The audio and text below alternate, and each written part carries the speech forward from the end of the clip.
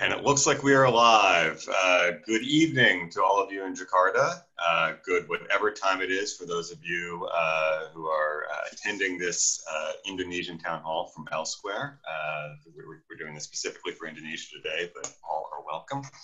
I am Bill Watson Canning. I'm the president of University Consultants of America.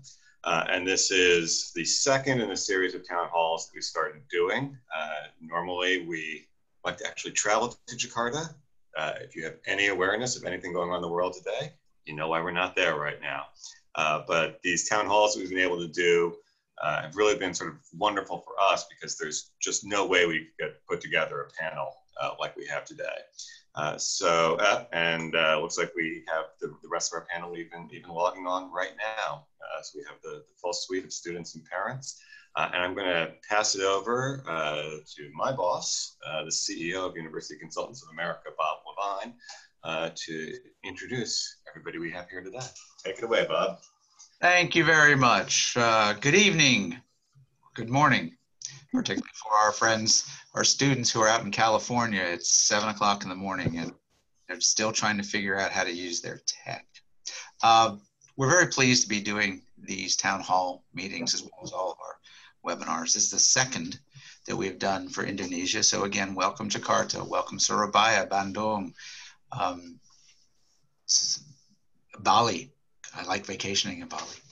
Um, I do want to introduce everybody. Uh, since he got into the frame last, I'm going to wake up Melvin. Uh, Melvin pretends to be in front of the Golden Gate Bridge in San Francisco. He is currently a graduate student at Stanford University, having graduated uh, from Georgia Tech. Uh, and so he can give you the perspective of the differences between the two, etc. Um, we also have Marisa. Uh, Marisa's uh, one of our UCA parents. Her uh, darling daughter, Fio, uh, is in the Claremont schools, and she can tell you all about what it's like to be a parent during this process. Perhaps you will also get that perspective from Richard, Richard's son Nico is at NYU, at least last time we checked. And Richard certainly knows what it's like to navigate all of this from the parent's perspective. Jonson, Jonson's been a parent to pretty much every one of our Indonesian UCA students. Uh, he also has a daughter going to the University of Georgia, so he's lived it from your side. And he has a son. God love him for doing this again. Uh, of course, you know Bill. Bill's our president. Bill's a Princeton man. You may not yet know Hermenegildo. Uh, Hermenegildo is a Yalie. So um, we actually have a Harvard person, a Yale person, and a Princeton person. So if you want to talk smack and have fun. Um, but Herme's not all bad. He went to Harvard for graduate school, so that helps too. Redeeming uh, quality. yes. Uh, Konner, Konner Brewer, um, another one of my all-time favorite students is uh, somewhere in California, having graduated from Stanford, and is the author of an article published this month about the imperfect road to Stanford. So uh, you might want to read that. It's it's always great to hear the different perspectives. It just kind of really makes sense to everybody. And then we have Matthew. Matthew is uh, a student of the University of California system. Uh, he's at Davis he can tell you the pluses and minuses and probably that all UCs are not the same. So uh, in your chat function at the bottom of your screen, uh, we urge you strongly, please ask questions. Ask the hard questions. Ask questions that you might think aren't deserving of being asked.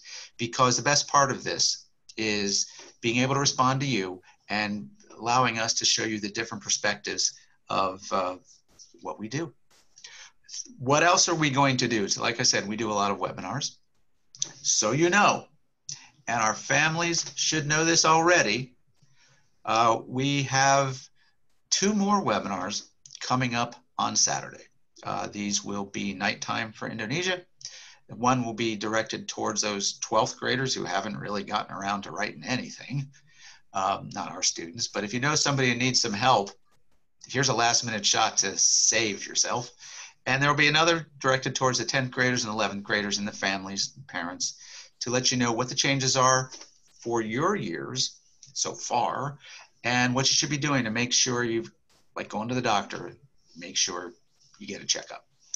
Format today will be that each of us will give two minutes, maybe three, of our perspectives so that we have plenty of time for your questions. Um, we're going to kind of bounce around between our UCA professionals and our parents and our students. I know that some of our our young people actually have to do work stuff, so we want to make sure we get them in uh, within the hour. Uh, but we'll stay as long as it's appropriate to answer your questions. Uh, I'm going to start off uh, with some stuff that I have learned or corroborated based upon some research I've done. Um, over the last month or two, I've been talking to an awful lot of admissions people, including several deans. And it was all done basically to grab quotes for an article that's being published. Um, but there's some really interesting things that come of that. You hear all the time that the American holistic system of admissions is really different than most of the world. It's really different from most of the world. And I want you to know a few things. Number one, this is an admissions office, not a rejection office. Their philosophy is to build communities. These people love people. They're trying to find good people, not reject those who are not good enough. That is their philosophy. What is perhaps most interesting is how frustrated they get because there are institutional requirements that have to do with money and diversity and what the Board of Trustees says.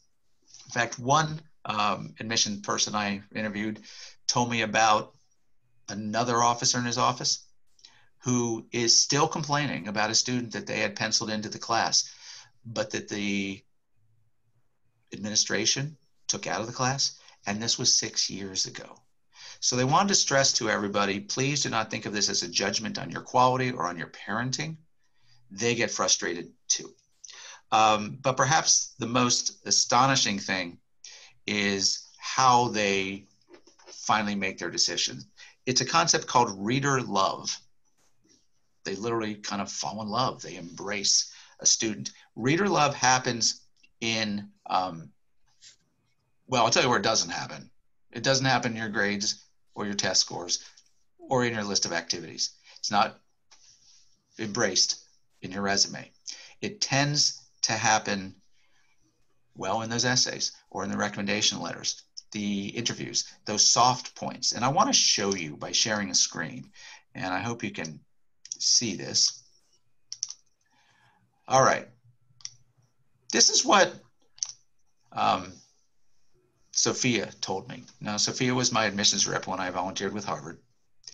And I asked her, what's most important? And she said, if I were to assign percentages to the impact of academics versus the other choices, especially for those schools who have the luxury of choosing whom they want, academics is at best 10% of the consideration.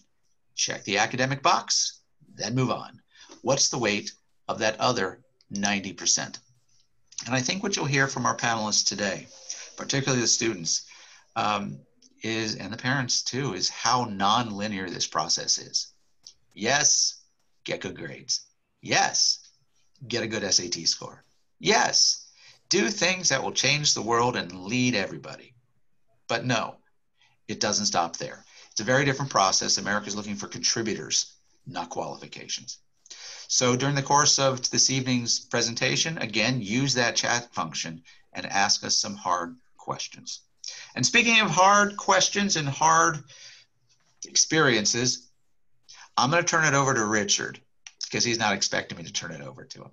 Uh, Richard, would you please share with everybody what it was like to go through September and October and November and December with your son Nico, who finally, finally, finally did his work Right. late? Well, thanks, uh, Bob. Uh, hi, everybody. Um, yeah, it was, um, I guess, a very um, uh, frustrating process for me. And also, uh, well, part of it is because um, uh, even though I've been, uh, I was educated in the US, but then the, it's so different from when I was there. And now uh, it places more uh, emphasis, you know, on uh, other things besides grades and uh, I was uh, engineer, educated engineering, but my son, Nico, is into writing, creative writing. So the requirements, everything is so different and it's very difficult for me to, uh, uh, to guide him sometimes. And uh, uh, that is where I think that, you know, UCA was able to help Nico a lot. you know, first of all, by by helping to select uh, the right uh, universities that is, you know, that is uh, good for him, that is right for him. Also in guiding him how to do the essays. Um, for me, I guess the, the most frustrating experience was uh, it's, you know, it's sometimes difficult for me to try to help Nico when there's some limitation uh, in myself uh, that, I, that I found that I cannot give 100%. And also, I guess, uh, Nico, I guess being, you know, he, he, he has a lot of other uh, extracurricular activities too. Um, uh, in terms of uh, submitting the works, the essays and things like that. Um, he's not a very, um, you know, he, he, he procrastinates a lot. so, you know, assignments. Wait, wait, wait, wait, wait. Yes. He procrastinates a lot. Now, Richard's not going to tell the real story, and I'm. Uh, of, of, course, I, I know. I know you. We'll go to this. We give out awards every year, really expensive awards, and one of our favorite awards, favorite, is most likely to make your parents crazy. Nico had to put this on Richard's around his neck because um, I'm pretty sure Richard wanted to put his hands around his son's neck. or am I wrong? Well, no, um, it's not not entirely wrong, no.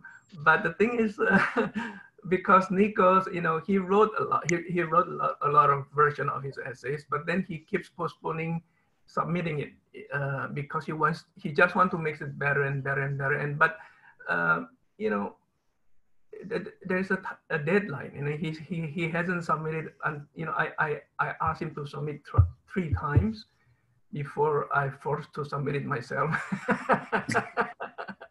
Using his son's name.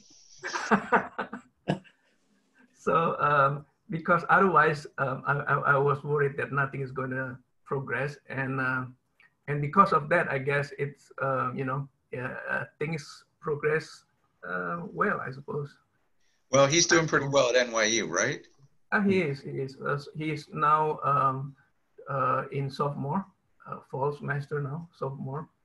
Uh, so far, uh, first year junior, first year freshman, he's he got 4.0s cumulative. So very good.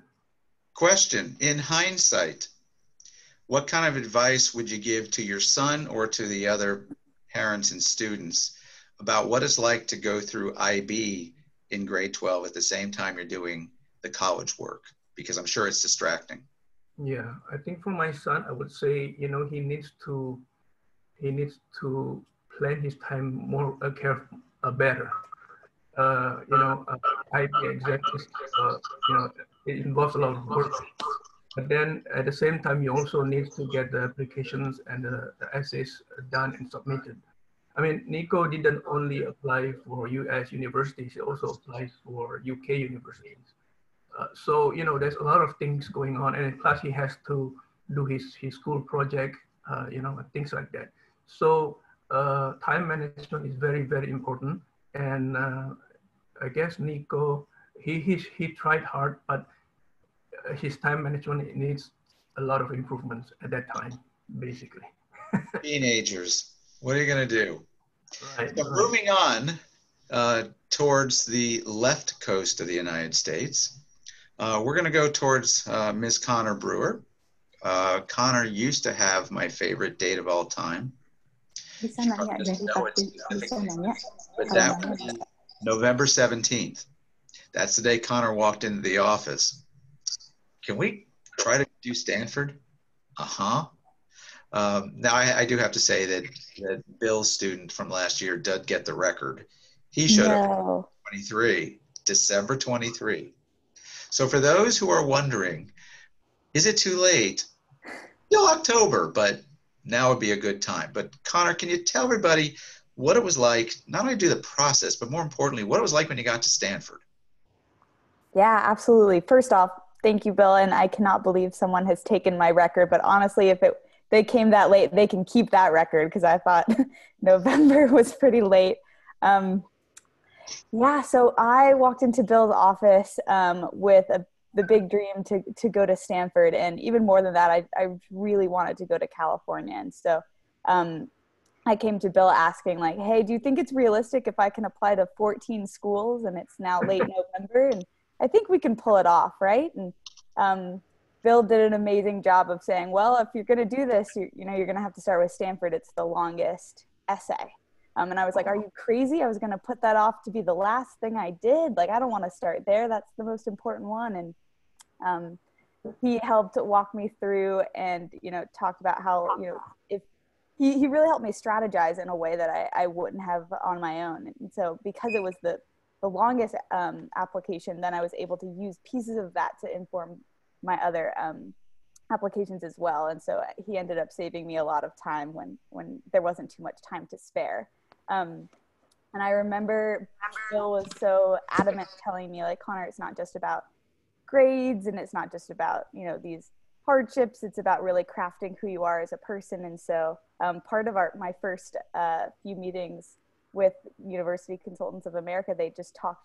He talked me through. They kind of felt like um, almost therapy sessions in a way of like, all right, well, let's really figure out what who you are and what kind of picture you want to paint for these colleges because at the end of the day they they want to know what what makes you you and what you enjoy doing and um, which surprised me. I thought Bill would say, ask like, what am I most proud of? What have been the hardest challenges? And, and he did, and we talked about it, but um, it was really more of uh, well, who, who I was as a person. Um, and so I believed him and, you know, we did, we crafted this thing, but um, I didn't realize how strongly the colleges really felt about it. And so when I first got to Stanford um, and got in, which was crazy, um, I had a lot of uh, doubts. I was like, I can't believe how I like skated by and got in, and um, this was a huge shock. Um, and I felt a lot of imposter syndrome. And then um, when I got there during orientation, um, they sat all of the new Stanford students in a room, and there were all kinds of whispers say, of all the students saying like, "Oh, I can't believe I, I got here. Like, I think I was the mistake." And um, that was kind of the the vibe that was filling the whole auditorium at that point. and i was like oh i felt a little better because i wasn't the only one thinking that um, it's nice not to be the only mistake right it's nice not to be the only mistake and so then the the vice provost gets on stage and he's talking about um, uh, you know what the community is going to be like and what the next four years will be like. But the thing he drove home the most was um, no one here was a mistake. And i was shocked. I was like it's like he read my mind. He knew exactly what what to say in that moment. He started talking about you know some of my classmates accomplishments and how um, there were olympians and there were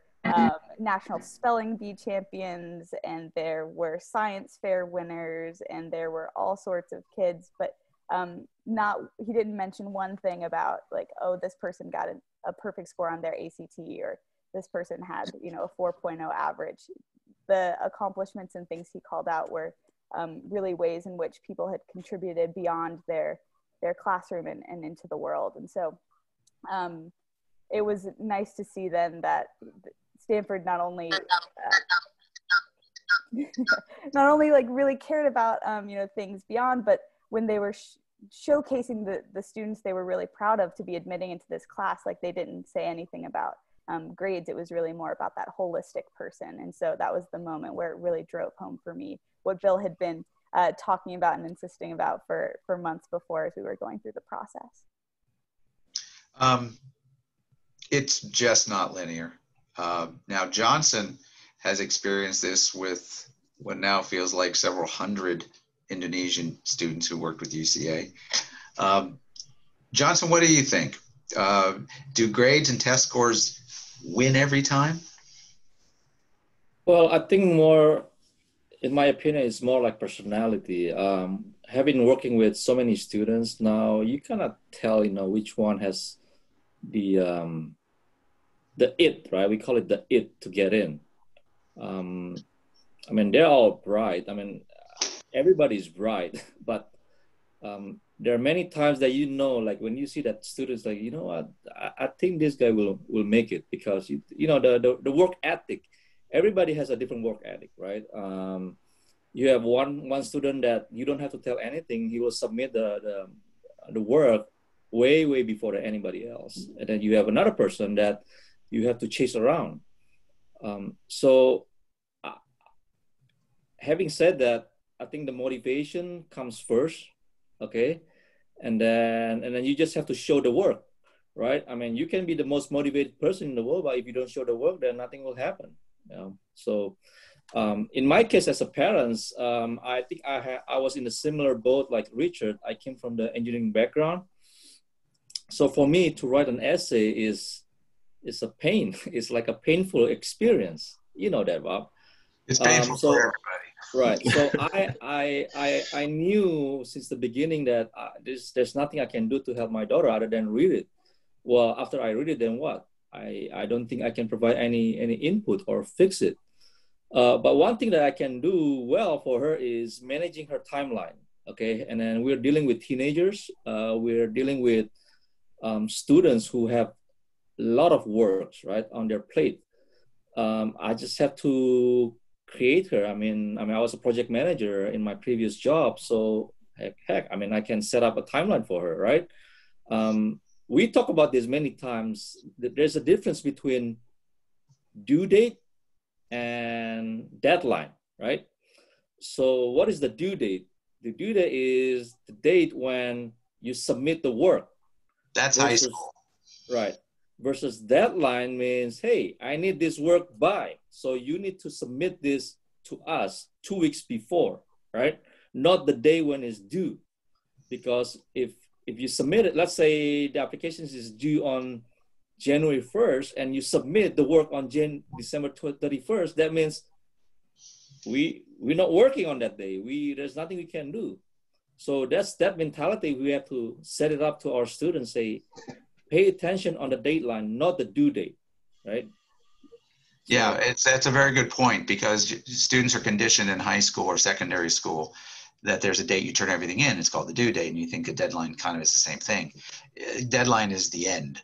It's when yeah. they're tired. It's when you just finally showed up. Whoo, you apparently really want to go to our school. So we kind of force everybody to have earlier deadlines, not just so that they can um, apply at the right time, but so that we have enough time to put the work together. Uh, now, um, Herme, I'm going to jump over to you because something that Jonson said uh, kind of reminds me of what happens in the office all the time about, you know, I talked about reader love in the admissions office, and I think we get the same thing here as we start to see the students and, and see their work. Um, but talk about the I know you have some other stuff you want to go over, but talk about the emotional side of how all of this works.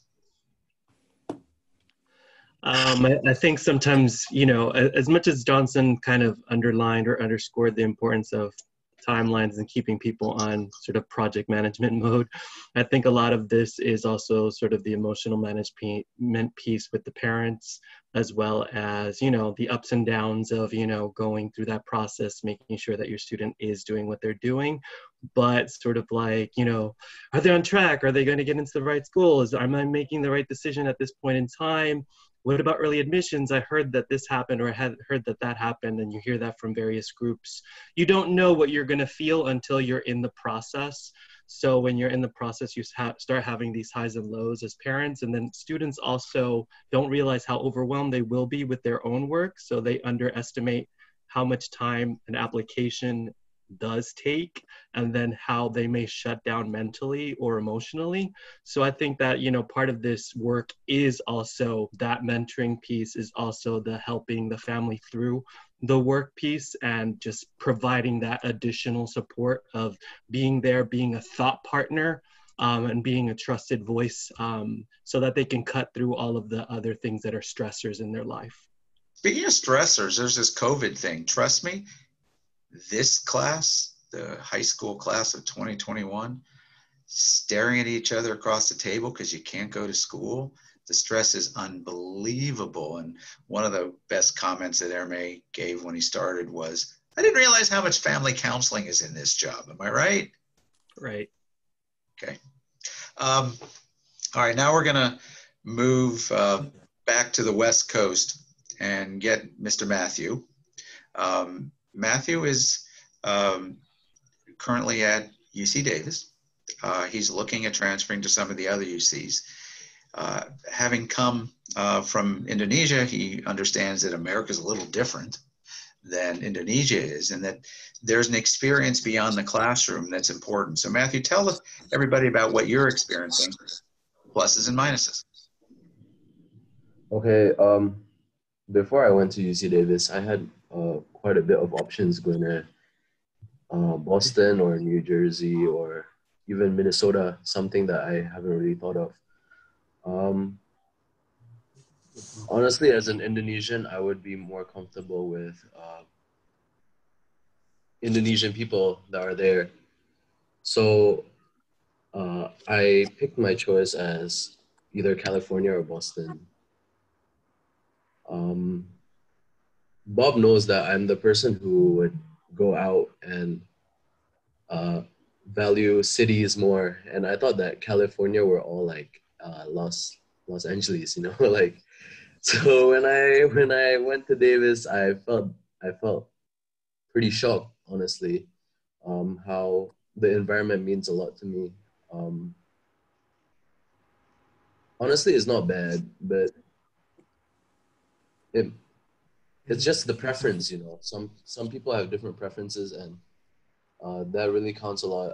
I always thought that rankings were always the most important things in looking at a university, but um, environment is up there, I would say.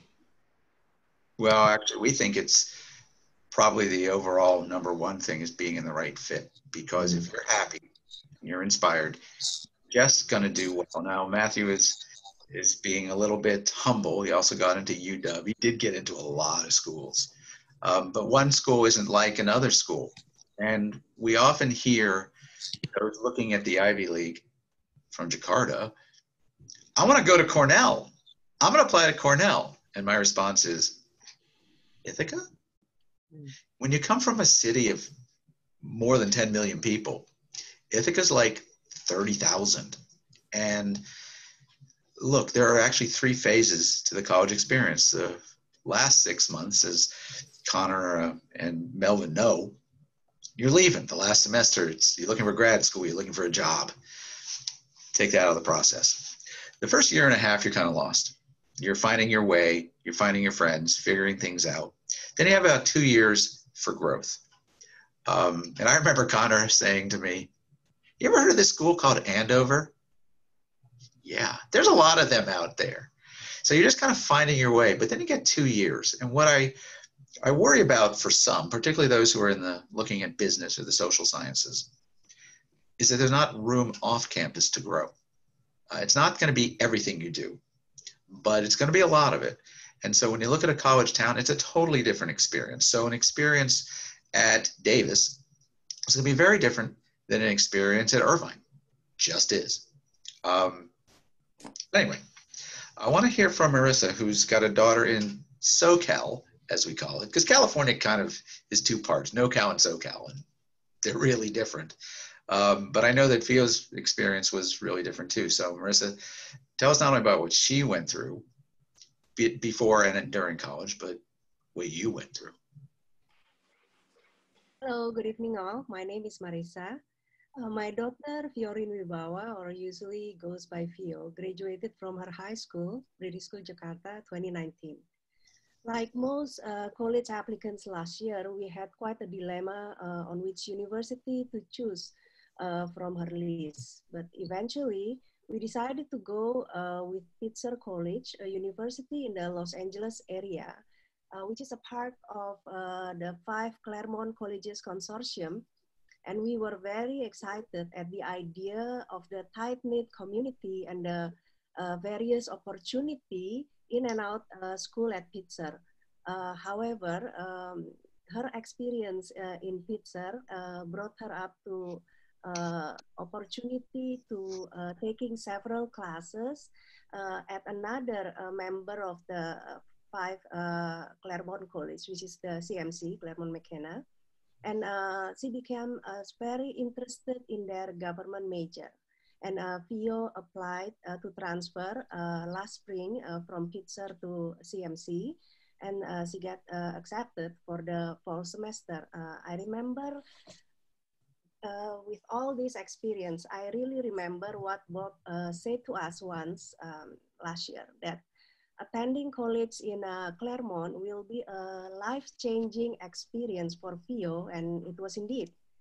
Um, she grew in many aspects, even in the first 12 months of her college year, as she becomes more independent, uh, ambitious in a very good way, actually, and then uh, proactive and focused toward achieving her goals. Um, well, I guess uh, what I really want uh, to share with uh, all, with all the parents and students here is that in the process of uh, college admissions, you might have experienced lots of uh, ups and downs. But at every moment, please always remember that at the end of the day, everything that you have experienced is always um, part of a learning process that will truly shape you to become a better person. So basically that was a summary about our experience. And uh, due to the current pandemic, Fio is currently here with us now. Uh, it's a crazy year and she's taking all her classes uh, in Claremont McKenna online from Jakarta. Thank you. Back to you, Bob. Thank you so much. And for those who really don't know the Claremont schools, you have Pomona, Claremont McKenna, uh, Pitzer, and there's five schools um, that share. It's a very different experience giving you the small school experience, but really kind of a medium sized, almost Ivy League size experience. It's like five houses on a street that everybody plays at. Uh, doesn't have major college football, but it does have LA and right by the mountains, and it's a great result.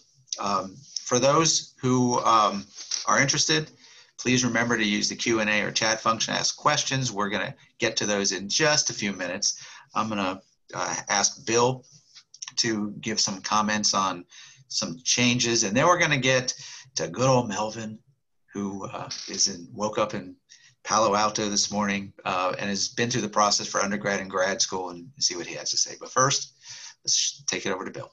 Great, thank you, uh, Bob. Uh, first of all, I, I, understand some people are having to share logins. There's some issues. Just please be aware that we are definitely recording this and we'll be uh, providing it to everybody uh, afterwards. So you'll get a link with the YouTube uh, YouTube video.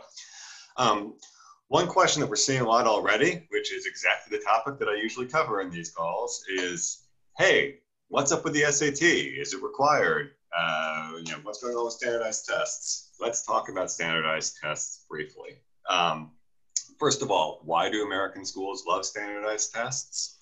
Uh, well, uh, there's a, uh, uh, schools are obviously going to look at your academics. It is 10% how they're going to consider you. They do want to at least make sure you can do the work uh, at whatever school you are at. Uh, and here's the thing you'll discover every school uses sort of wildly different criteria for their grades. Wildly different. There's a, a school not far away from uh, our office. Uh, I think it's a four point uh, grade scale, and the valedictorian every year has something like a 9.2 uh, GPA. Uh, not entirely sure how that's possible, but but hey, uh, when I was in high school, we had a 14 point scale. I don't know why.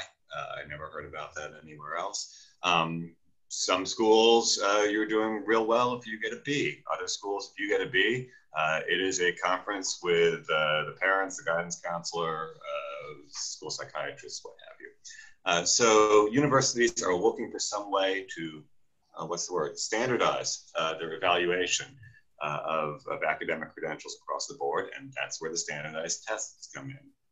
They have all sorts of flaws uh, that are sort of well known, doesn't take long to figure it out, but uh, at the very least, uh, they've been able to figure out that a student who scores a 1400 on a standardized test offered in March uh, performed at about the same level on that test as a student who got a 1400 in June, has got one in August, what have you. Uh, so the schools really do uh, like to look at those standardized tests uh, to at, least sort of uh, what, validate uh, the GPA, understand the GPA, understand the academic potential across across the board. And let me interrupt and interject because when I interviewed all these admissions people, because there's very few, well, pretty much every school here is test optional for this incoming this season. Um, they were all a little worried because they've used that SAT for so long that they're going to focus in so many cases on just essays, and they're, they're kind of bummed Yeah, definitely. Uh, because, uh, as Bob is alluding to, they're not going to have as many standardized tests to look at this year because uh, there's a little uh, virus problem uh, that resulted in test dates being canceled. And by early April, pretty much every school in the United States had gone test optional. Uh, for the year, meaning they will not require you to have a test. I think some of the military academies may still be requiring that, but but basically, every school in the country is test optional. Except the state of Florida. Uh, what that means uh, is that you are not required to submit a test score. That does not mean, in most cases, and I'll get to the exception in a second, uh, that does not mean uh, that they are test blind. Uh, if you are sitting there uh, with a 1550 test score, no, no admissions officer in the world is going to say, "Oh, I wish you hadn't shown me that. I, I, I, I, I, I, wish I hadn't known that." No, they, they want that score. they, they, they want to see it. Um, test optional is not new.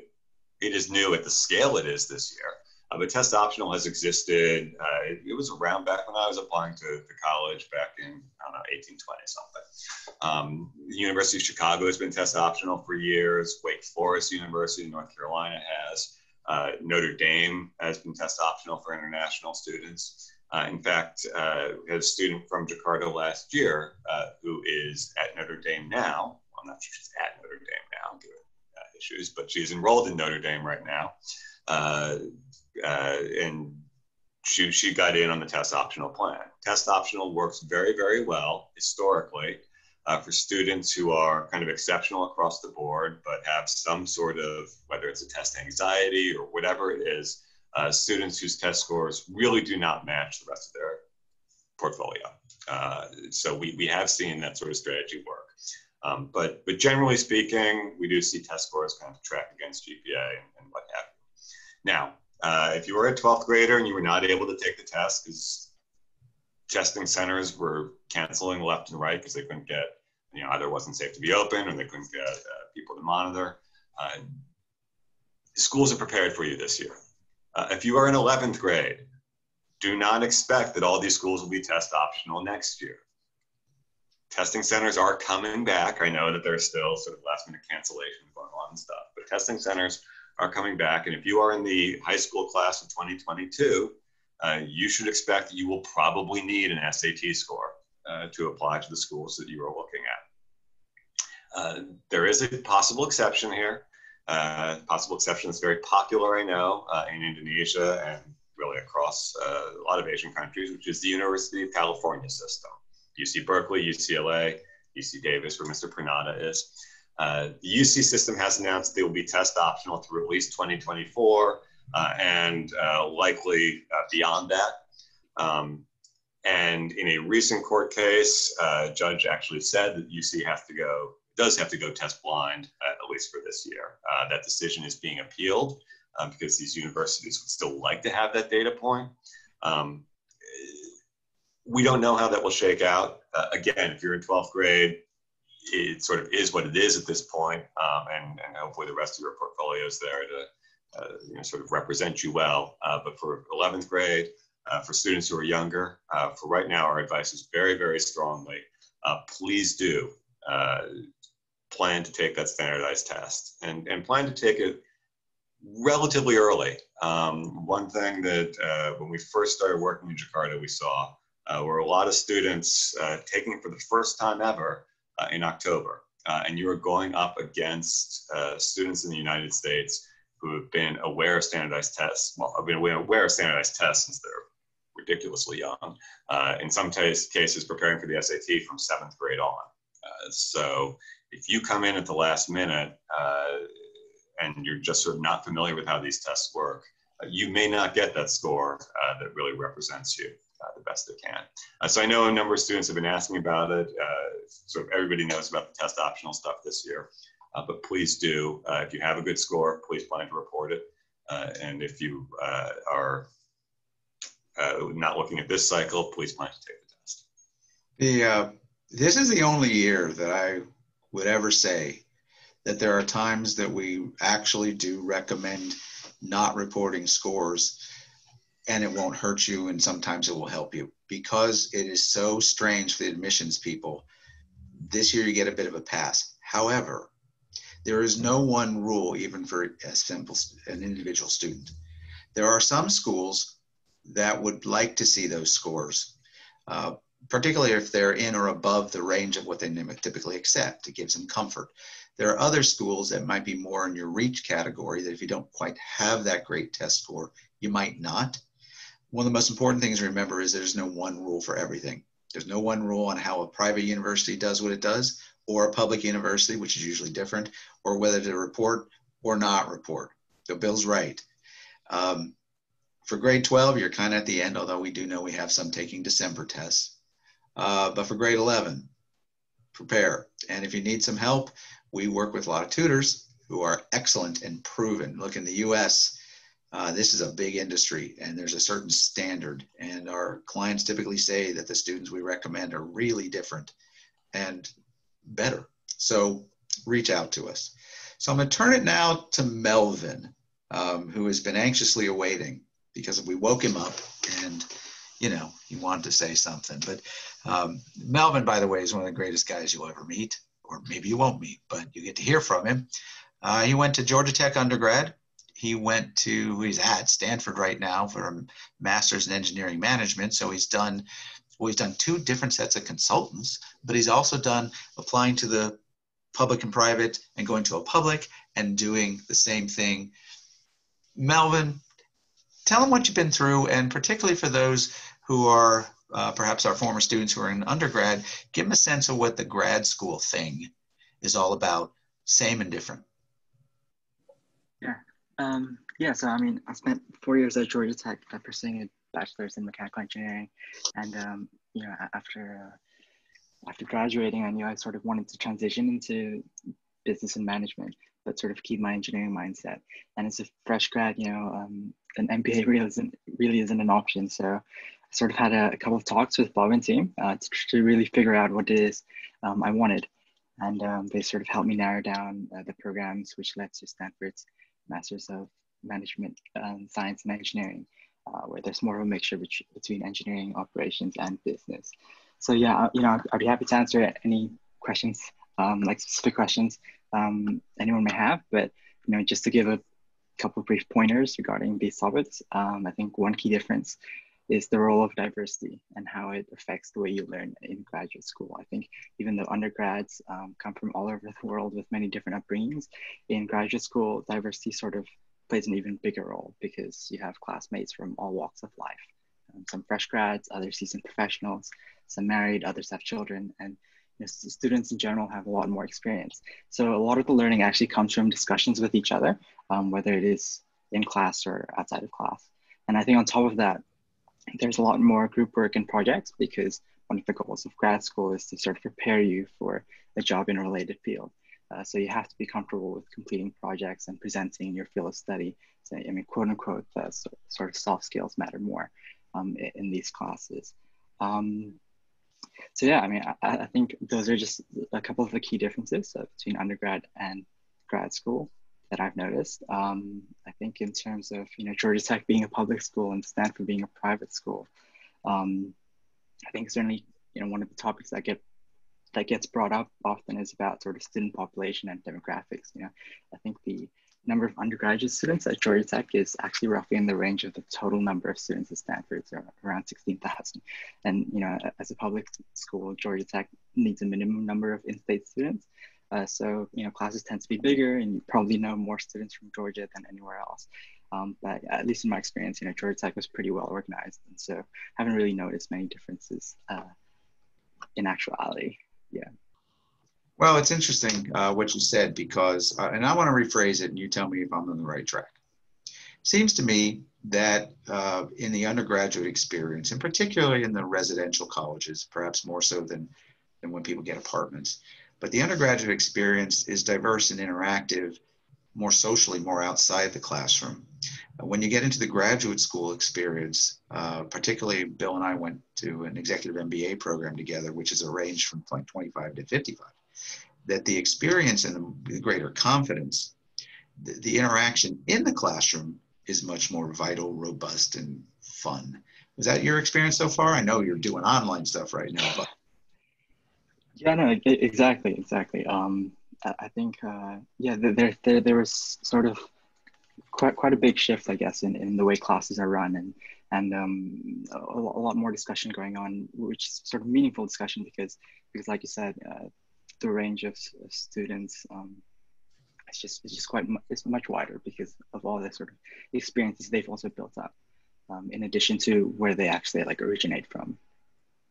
Well, that, that takes me back towards Konner, um, who's just finished the undergraduate experience and now is in the real world. Um, Stanford's a large place in terms of acreage. Got to use a lot of bicycles, but it's also a residential college.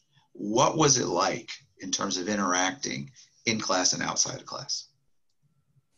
Yeah, that's a great question. Um, I I really loved how Stanford was set up. So I think there, Bob, jump in, correct me if I'm wrong, but there are kind of two types of ways you know colleges can kind of be set up. And so um, Stanford, like uh, for example, NYU is kind of integrated into the city, whereas Stanford was um, cohesive in like it had an outer barrier. It was its own kind of unit. Um, and in that way, it, I thought it was really wonderful experience for what my needs were because um, I enjoyed having it be this kind of blocked off community where actually all of the undergrads, um, or the majority of the undergrads, have uh, housing all four years.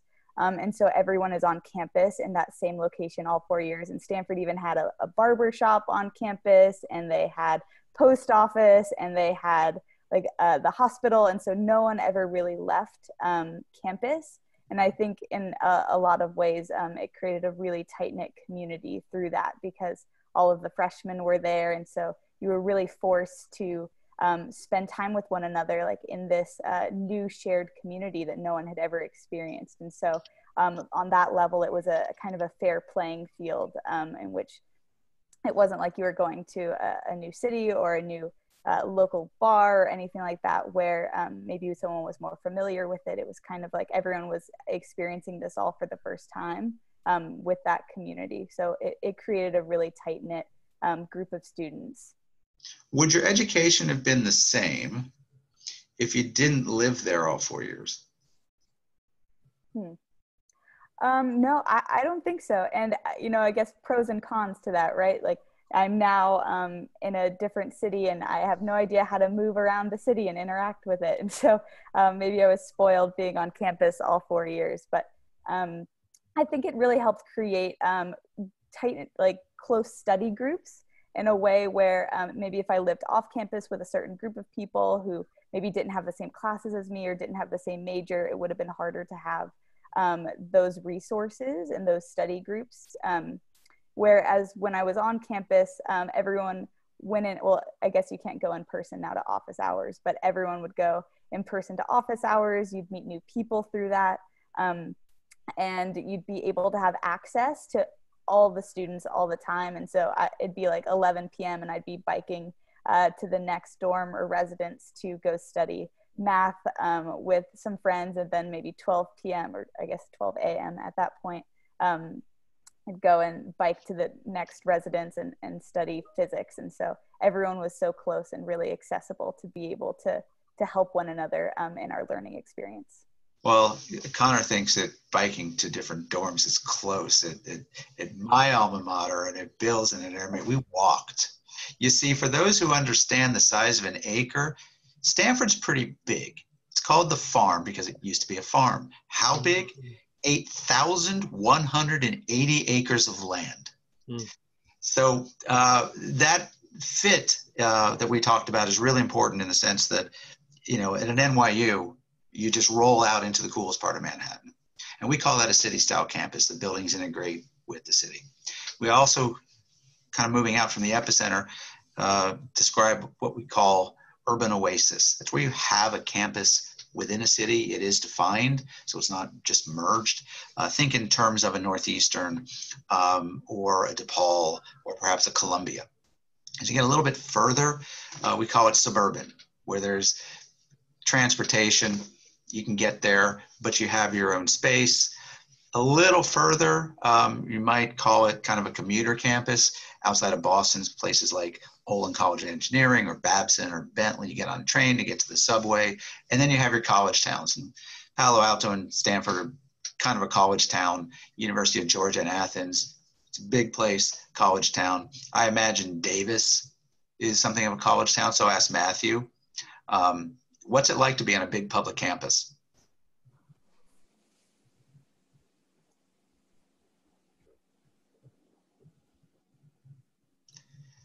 And his microphone's not working. It's on mute. He just unmuted it. Try again. Nope, not working. Uh, we'll just say it this way. It's different. And the schools are all different. Um, but we want to get away from having to hear what we have to say to answering the questions that you have. And Bill's monitoring. And again, use the Q&A, use the chat function, and we're going to start answering. So Bill, what are we getting? We're getting a lot of questions about major. How do you choose what major? Do you apply into a major? Um, I, well, I know what it's like. Uh, uh, the um, uh, well, let, let, me ask uh, those of you who've more recently been on a college campus. Uh, when you show up, does anybody come up to you and say, uh, you were required to be in such and such major because you checked some box back in the fall of your senior year? It's a very leading way of putting the question. Konner, what do you think? Did you know what you wanted to do when you got there?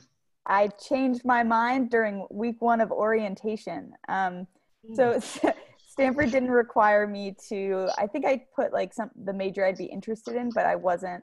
Um, I didn't have to apply to a specific major or, or college within Stanford. Um, and I actually found out about a completely new major I didn't even know existed. Um, during orientation, when uh, a new girl in my dorm came up to me and, and told me about product design engineering. Um, I originally went in thinking I wanted to do mechanical um, and found that product design was a much better fit, more entrepreneurial. Um, but like I in high school I didn't know that was an option, so I learned about something new when I when I got there and could easily uh, switch at Stanford. You could explore a lot of different majors there, and you weren't required to apply or, or switch, um, like have a long process to switch to different ones. And and for those in Indonesia, um, you apply to UK universities much more than we do in the US. And there tends to be this idea that the UK and the US are very similar. no, they're not. Uh, just like uh, IGCSE is a little bit different than IB, uh, the system in UK kind of wants you to know what you're doing. And so you're applying to a thing. And the US, eh, take two years and figure it out. Yes, there are places like an engineering school or a Wharton School of Business or, uh, you know, being in a theater where you should know and you're applying to something specific. But our theory in the US is you figure it out as you go along, and we give you time to taste and test from the world's largest educational uh, buffet line. Um, but uh, in fact, it, it, it's also not the case that a U.S. major is a credential for your career in most cases. Obviously, there are a few exceptions here and there, um, but I mean, I always point out my girlfriend's senior year of college was a religion major. She's now a surgeon. Um, it's uh, uh you know you are you are sort of preparing yourself with a, a way of thinking for the world that doesn't exist yet, uh, not checking a box so that you can uh, walk straight into a job somewhere. Well, in the case of Marisa's daughter, she didn't just change majors or change her mind; she changed schools. What was that like? I'm sure that was an interesting discussion. You want to do what? Yes, um, Fio was actually uh, calling us uh, around uh, spring, March this year, and then uh, she uh, just tell us that uh, she would like to uh, try to apply uh, to Claremont McKenna because uh, she has taken several classes in government major there and Uh, she likes it so much, uh, the program and the uh, curriculum, I think. Uh, and then uh, she realized that uh, even though the perk of going to school in a consortium of Claremont College is you are able to take classes in between those five colleges. However, it mostly apply only for the freshman or probably sophomore years. Then after that, you won't be able to uh, in the upper classes. So that's what uh, I think uh, Maker really wants to transfer to Claremont McKenna at that time. Yeah, it's it's a whole different thing, and and we look at college as the bridge between being a youth and being an adult, and we look at the university as an opportunity to use resources to help to find yourself. Uh, Bill, what else are we getting from the audience? Uh, let's see. We are getting uh, we are getting several questions about whether uh, students should come to the U.S. for high school, say 9th, 10th, 11th grade, uh, or whether it's better to apply uh, from Jakarta. I think the answer um, it depends. But, uh, it depends. Um, the truth is this: the ugly truth. There are certain feeder boarding schools where the students get a major advantage, and those of us who are college, and I'm, I'm guessing that Melvin's seen it too. All of us have seen it. There are certain schools that, yeah, it's an unfair advantage. So if your goal is to get one of the top 10 or 20 schools, those schools giving an advantage is not fair, but it's real. Um, however, there are pluses and minuses even for that. On the one hand, uh, I think that students who go to boarding schools grow up in kind of a different way because they're away from home. They're in a dormitory or residence hall. They're kind of immersed around other people, and it's a very supportive environment. But I wonder, is it as supportive as parents will be? Because ain't nobody gonna love a kid more than a parent. Also true, no, ain't nobody gonna be an- angry at a kid than a parent. Um, so it's a whole different dynamic, and I think the answer has to be a parental one, uh, as much as it is a path decision. If the student is ready for that next development and you think it's the right thing for their development, sure, absolutely. Consider a boarding school. Now, not all of them are going to give you the same advantage. However, if the student needs something different, be a parent because it's going to be 11, 12 hours difference. And we know it. The students in high school, you're still kids, just like mold in a petri dish maturation takes time. And there's some things you can't see. So this is a family decision as much as anything. Yes, some will give an advantage, but not all. And you don't necessarily get an advantage by being in the US. You'll get more information. You can't avoid US college stuff here. Um, but it's a personal decision. I often contribute and give back to my community, but I don't think it's something I can quantify or record. How do I show it on my application? Uh, I, I, guess another way of saying that is does every activity on your application have to be part of a formal organization? No. Not, not really. Um, I'm gonna I'm gonna toss it over uh, to Herme. Um, question is, what do you do with great or not so great activities? Is the application designed to showcase things? Because for those who don't know, you get like 150 characters to describe some stuff you've done for 10 years. What has you've seen so far? With regard to how students showcase their activities? Well, there's strategies and using the common application or whatever. Um, there's limited space and a limited review time. Uh, is there room and is it the type of thing that you can just do, or does it require an art and science? Well, I mean, I think you probably should.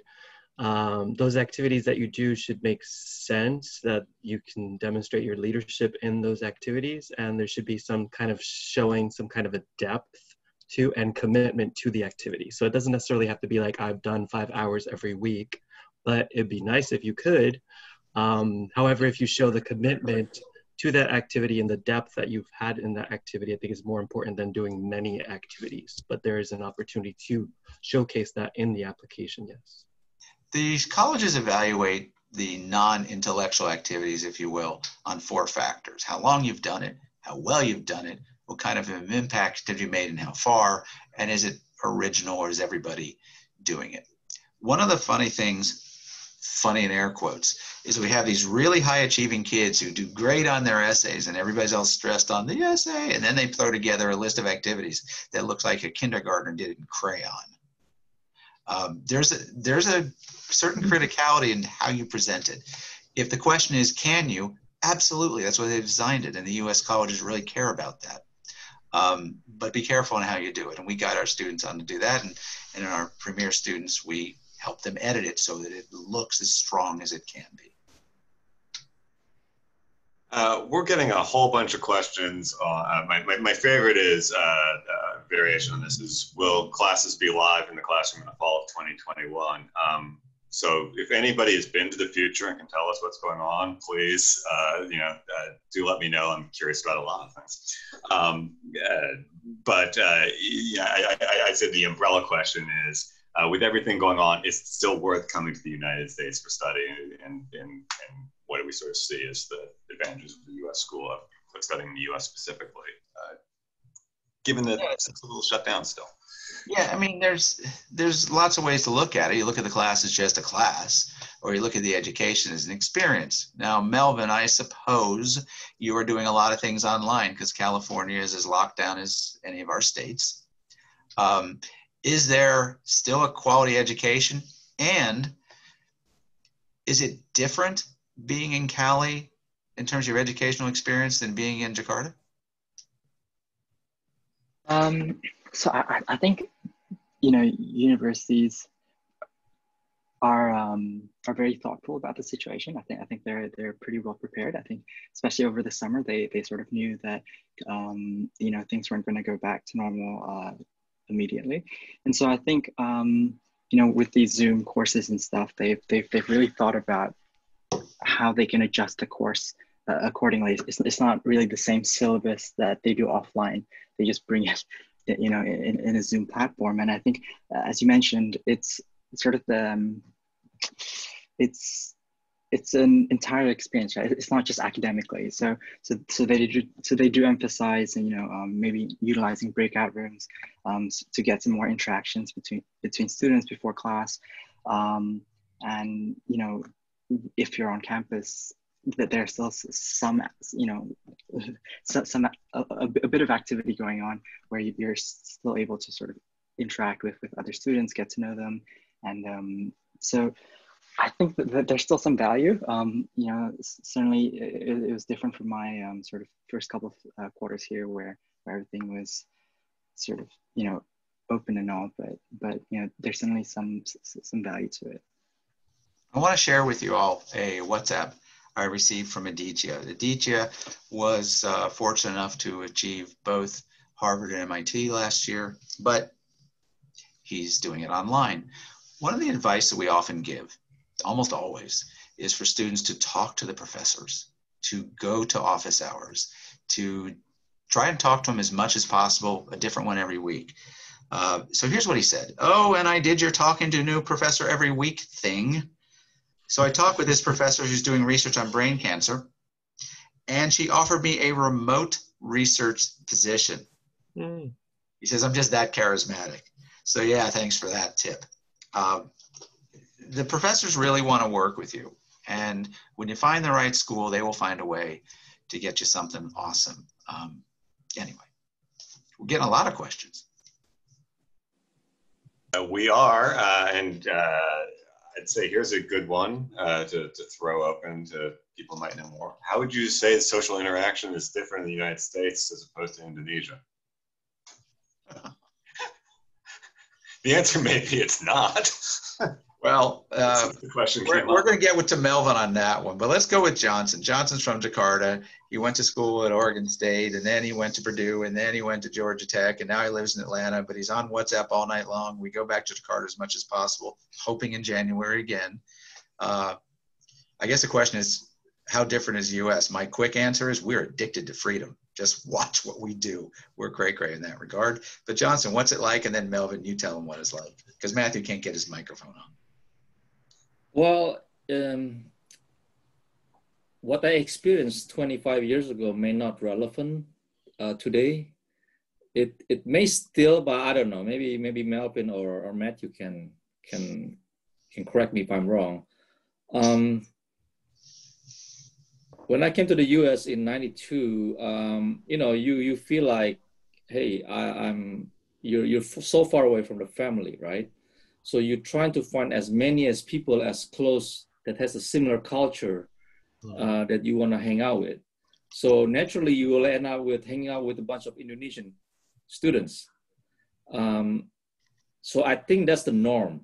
Um, but if you end up in one of those schools that, that, don't, that don't have many Indonesian students, you are forced to, to interact with other students from different countries. And I think that will be more beneficial rather than, you know, just hang out with a bunch of Indonesian all the time. So there's a difference between um, going to the big school where you, you see more Indonesian students rather than, for example, um, McKenna. I, I don't know how many Indonesian students, probably like few. Um, in the old days, Ohio State, Oregon State, Iowa State, Oklahoma State, those, those state schools have a lot of Indonesian students, right? Compared to Stanford, for example, there are not many because it's very hard to get in, or Harvard itself. Um, again, it's all about choices. Who do you want to hang out with, right?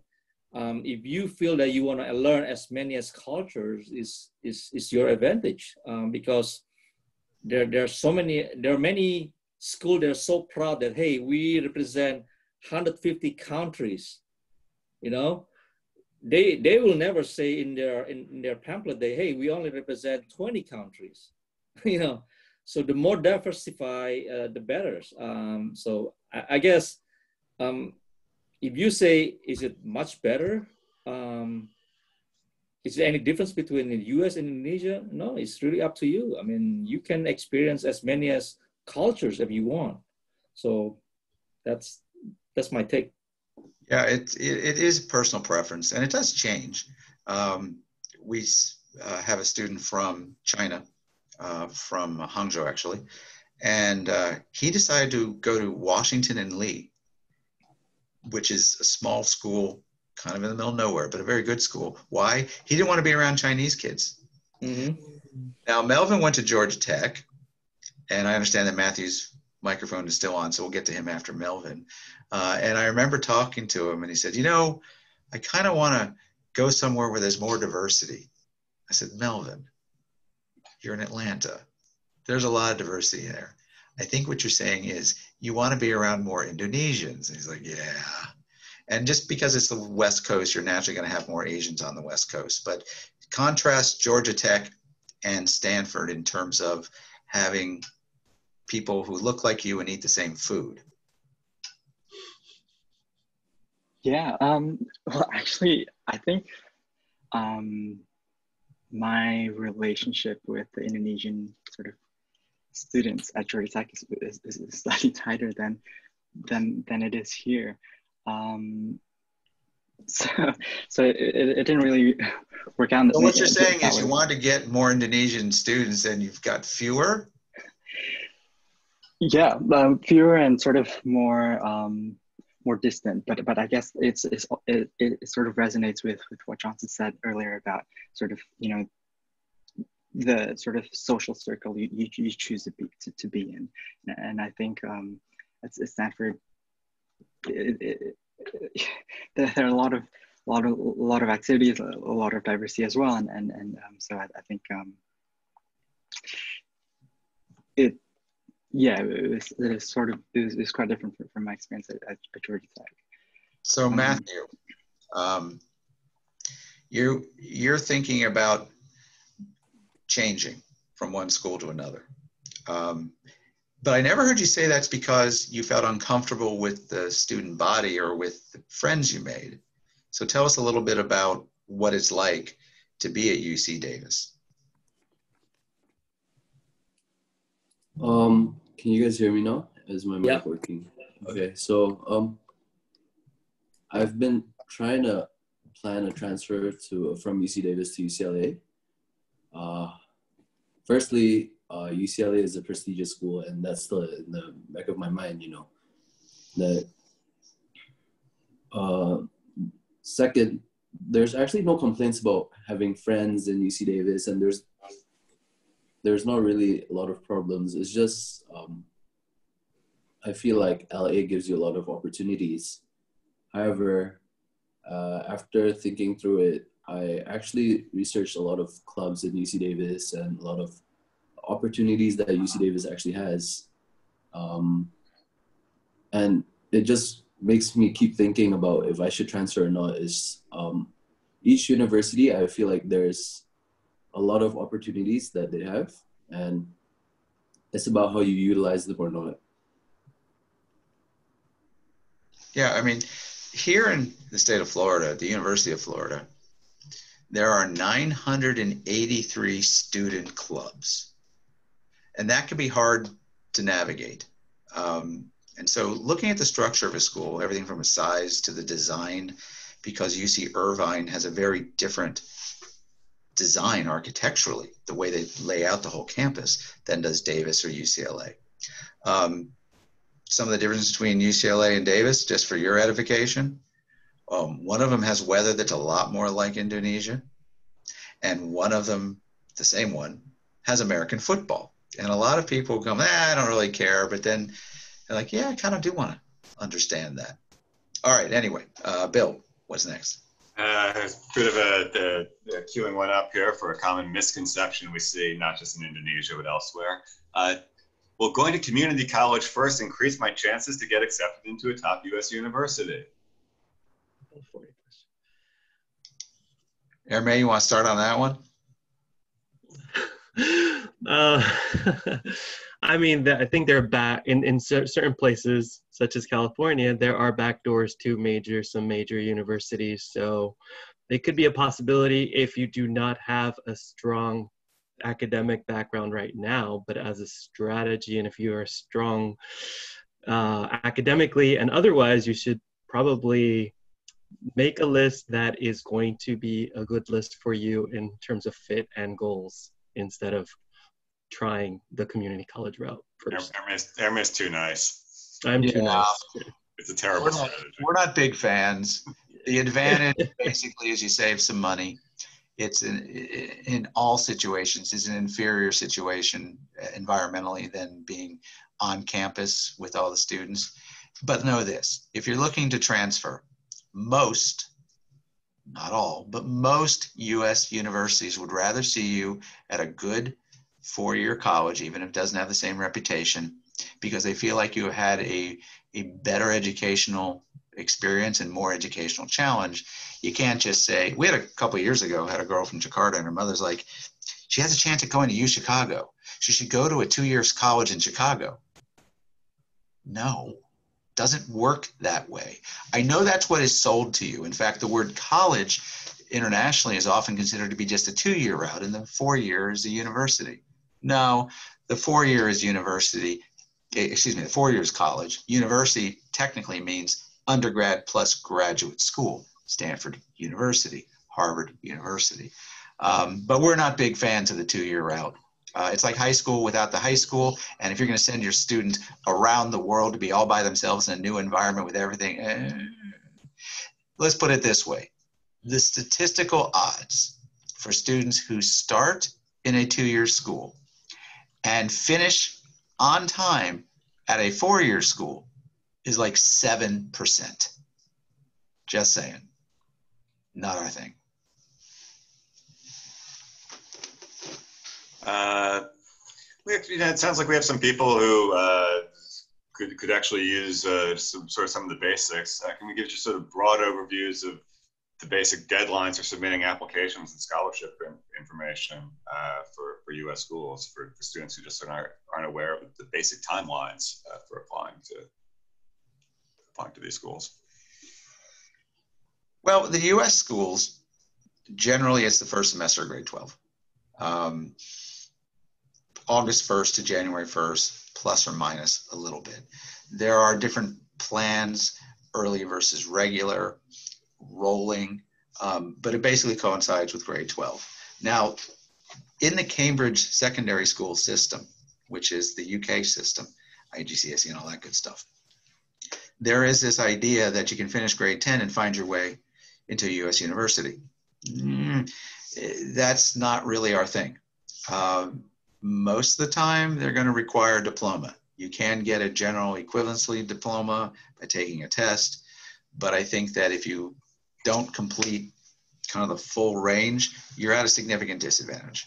Um, that's just the way it is. It's a different system. That system is designed for UK schools, and yeah, you can get there a little earlier. I'm not really a fan of going earlier anyway. Um, I'll ask the parents in the room about maturity of kids from year to year throughout high school and now into college. Richard, has Nico grown up? Is he better able to learn the lessons now? Oh yeah, um, I definitely uh, noticed a lot of changes in him. Um, when he was still uh, here in Jakarta, um, you know, he will get distracted a lot, I guess, by games, by, you know, uh, his phones. But um, I, I, noticed when he was there now, uh, most of the time when I call, he was either, uh, you know, he, he, you know, he was uh, doing a lot of things outside school too. For example, joining clubs, writing clubs, uh, you know, uh, uh, submitting his, his writing for publication, things like that. not only that, he also, you know, he be, because he was not as pampered there as here. I guess not pampered at all. So he he he does he he do everything. He does everything himself. You know, so everything from you know from finding an apartment, from you know uh, you know getting food. He even started learning how to cook, things like that, and managing his time better with with classes. Uh, you know, with, with with all the extra curricular works um, he and his friends actually um, started something uh, back home, you know, helping uh, local students to improve English also, while in the well, while in New York right now.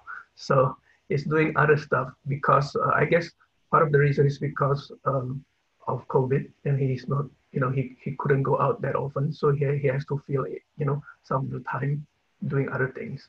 So definitely, I I I uh, and when I talk to him, you know, about schoolwork, about you know how he's managing his life, uh, his tone and his his point of view is very much different from what it is right uh, before. So definitely uh, matured and grown up. I want to before we get to Mercy, I want to give a give a pat on the back to Matthew. Wait, what? Yes, Matthew. One of the things that we said at the time, and I want to say again, is that in grade 12, you matured a lot. It was just fun to watch. And we always tell the parents, particularly the boys, you're going to like your son way better at the end of grade 12 than you do now. It's kind of how it works. And, and that's true of Matthew. And you can see that as he goes to Davis and is considering transferring, but maybe not, there's a thought process that change. However, Matthew also has some cousins who were twins. They did not have that same maturity during grade 12. But as as Jonson knows, and I know Matthew knows, it's amazing what's happened once they got into their university. In fact, Jonson, so that Matthew doesn't tout his own horn, tell us about the cousins and how much better they're doing now at university. Jonson, you there? Yeah. Oh, oh I was asking you, man. Oh, asking. Okay. Well, um, you remember the twins, right, Bob? Um, oh, sure. Actually, actually, I remember um, the second meeting we had with mom. She was crying because uh, Jason got an F with the mock exam, right? You were looking to bring him to the U.S. so we could watch him. It was that bad. Right. So, um, and, and then the next the next semester, I think he aced it. Um, so guess what? He's he's doing pre med right now in Chicago. Um, yeah, it's crazy. Somebody who almost, you know, failed uh, one of the class. I, I couldn't remember which class, but now he's going to do pre-med. He loves Chicago so much that um, it's not about the school. Again, um, I need to emphasize. I, I wish I, I learned about this long time ago when, when I started in college. Um, um, back to the earlier question, community college versus university um, when we talk about undergrad, four years undergrad, you're talking about your lifetime experience, right? The, the four years that you will never get back. Um, people may say high school is the best time of the of, of your life, but I think college, four-year college is the time where you will mature the most because you you will meet new people that you will never meet before, right? That's where you do the networking that will help you to shape you up in in the real world. So I don't think community college had the same uh, the same experience or offer the same um, advantage.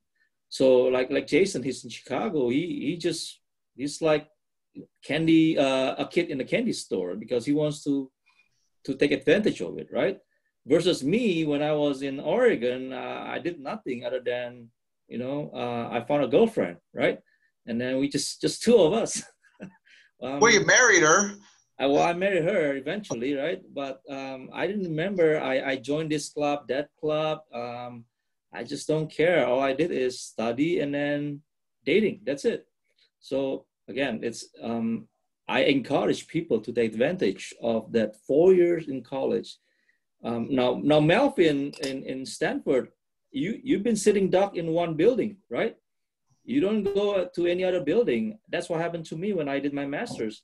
I don't go to any other building. I'm stuck with my graduate school building um, all day. Um, so again, um, if you don't take advantage of that four years, you're missing it. Where are you? difficulties in the office. Um, the question, one of the things we see in Indonesia, particularly in Jakarta, is the students are younger, a full year, maybe a year and a half, even two. Uh, those of us at UCA know uh, Rafael Brian Somali quite well. He is 18. Um, he is a third year student at UC Berkeley. And there are emotional struggles that um, these guys go to. So now I'm going to ask Marisa a question. Can you imagine Fio starting college a year younger? No. I would I would rather uh, to keep well before uh, going to high school uh, when Fio was still in uh, junior high.